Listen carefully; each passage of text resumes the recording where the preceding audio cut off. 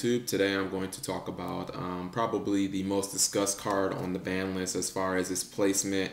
Um, you know, most people agree with it, a lot of people don't. I don't want to say most people, it's like 50 50 split. That's Heavy Storm. Uh, I'm going to give you my opinions and views on the banning of Heavy Storm. Was it right? Was it good? You know, all that good stuff.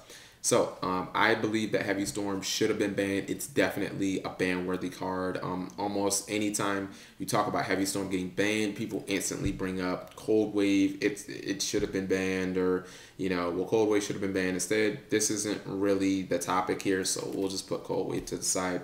Okay. Um, here's the thing about Heavy Storm. When you looked at the fact that it had absolutely no activation cost and the amount of advantage and destruction it caused, it just it is no contest that the card is ban worthy, like period. Um, I mean, much like Dark Hole or you know Feather Dust or Raigeki, it's just mass destruction with no activation cost, and it's not themed. It can be splashed into any deck. So I mean that right there makes it easily a ban worthy card. Um, not in not just that, but Heavy Storm gave you the green light for any FTK or OTK, and people will instantly say, well, Cap, you know, Giant Trunade does that too. So Giant Trunade, you know, should have been banned instead of Heavy Storm because Heavy Storm is healthy for the game. Okay, I'll stop you right there because here's the only difference between Heavy Storm and Giant Trunade and why Heavy Storm ultimately cannot be uh, I guess, perceived as healthy for the game. The only difference between Heavy Storm and Giant Trunade is that Heavy Storm can effectively be played with no intentions of an OTK or FTK. Giant Trunade cannot. That's the only difference between these two cards. That basically means that you can use Heavy Storm in much more decks than you'd ever be able to use Giant Trunade. That's why you don't see Giant Trunade being played in stuff like Black Wings, being played in, you know, decks that often can't OTK you or something like that. Um, to prove my point, all you need to do is look no further than something like the Glad format, where Glads rarely ever OTK you. When Glads played Heavy Storm in the Glad format, often they just wanted to make advantage, clear your back row so that they could do their moves to make advantage off of you or on you so that it would be next to impossible for you to get back in the game.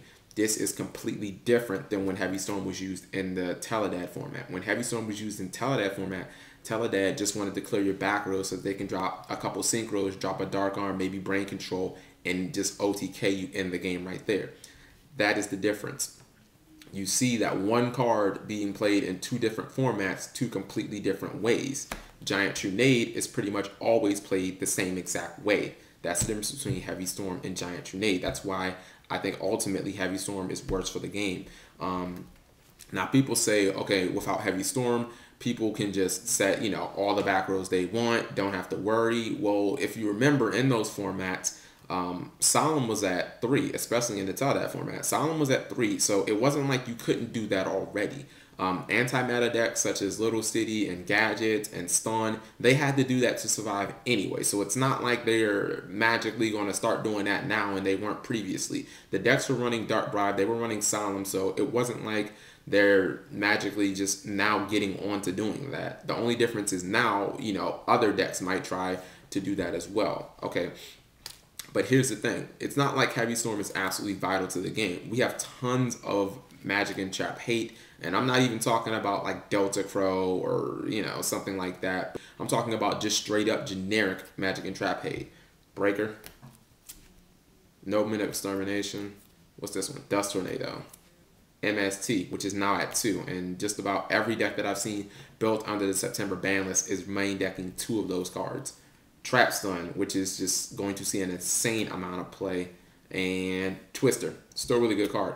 And then Royal Decree is now at three. So it's not like we don't have a plethora of Magic and Trap hate. People will just have to slightly adjust their decks. It's not like without Heavy Storm, we now don't have a way to take care of back rows because ultimately we do um, maybe even too much. Uh, I've been talking to people, and I've actually come to the conclusion that Heavy Storm was actually worse for the game than Dark Hole, and I need to explain that obviously. Here's the thing about Magic and Traps versus monsters. It is much, much harder to rebuild a army of or a field of magic and traps that were destroyed versus rebuilding a field of monsters that was destroyed. Let's say let's take two for example uh, losing two magic and traps at once versus losing two monsters at once. Well, the thing about monsters is we have monsters that the second that they hit the field, instantly pay for themselves, instantly make advantage. Stuff like Stratos, Gearframe, Manju, Diva, Yellow Gadget, or gadgets in general. Okay, so the second those cards hit the field, they automatically pay for themselves. You you've lost nothing. And then on top of that, we have monsters that the second they leave the field, instantly pay for themselves as well. Sangan, Dupe Frog, Goblin Zombie, and Dark Soul. I mean, and those are just some examples. The thing is about magic and traps are magic and traps don't do any of that. There aren't any magic and traps that the second you activate it, you instantly make an advantage. Or when it's destroyed, like if it's destroyed face down, you instantly get a plus off of it. There may be a few in the game and they're completely unplayable. So that's the difference between having something like heavy versus having something like Dark Hole. It's way easier to rebuild uh, monsters. And then in addition, there we don't have any generic card that instantly gets you back any magic or trap in the game you know when it when it has been destroyed. There are tons of monster revival cards. We've got call of the haunted. We've got monster reborn now. So it's not like you can't get those guys back. So i think a lot of people just need to calm down especially in just testing the new format without heavy.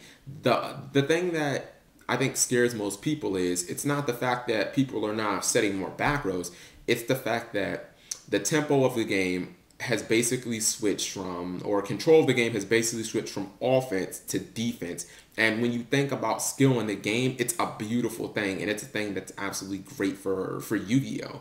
Um, you won't see people. It, you you you can't just you know drop five monsters or three synchros and not have to worry about it anymore because there's just so much there's so many counters. So now you have to think you know what can my opponent have if they have three back row? But you know you still have all the hate cards. They're going to be commonly played. I've already seen a lot of people adding those in. So guys just chill out.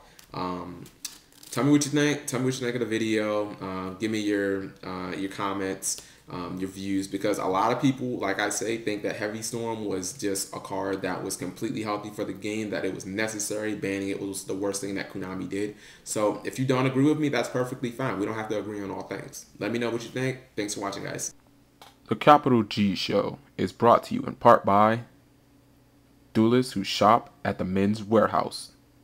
You're gonna like the way you look while playing children's card games. I guarantee it.